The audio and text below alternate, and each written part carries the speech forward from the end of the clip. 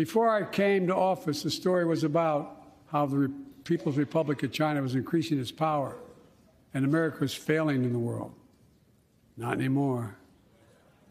We made clear, and I made clear in my personal conversations, which have been many, with President Xi, that we seek competition, not conflict. But I will make no apologies that we're investing in, to make America stronger, investing in American innovation and industries that will define the future that China intends to be dominating, investing in our alliances and working with our allies to protect advanced technologies so they will not be used against us, modernizing our military to safeguard stability and deter, deter aggression. Today, we're in the strongest position in decades to compete with China or anyone else in the world. Anyone else in the world.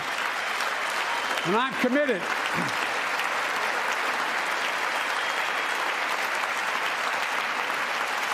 I'm committed to work with China where we can advance American interests and benefit the world. But make no mistake about it.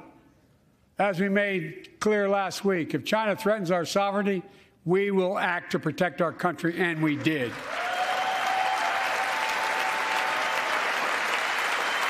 Look, let's be clear.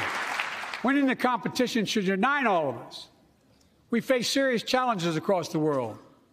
But in the past two years, democracies have become stronger, not weaker. Autocracy has grown weaker, not stronger. Name me a world leader who changed places with Xi Jinping. Name me one. Name me one. America's rallying the world to meet those challenges from climate to global health to food insecurity to terrorism to territorial aggression. Allies are stepping up, spending more, and doing more.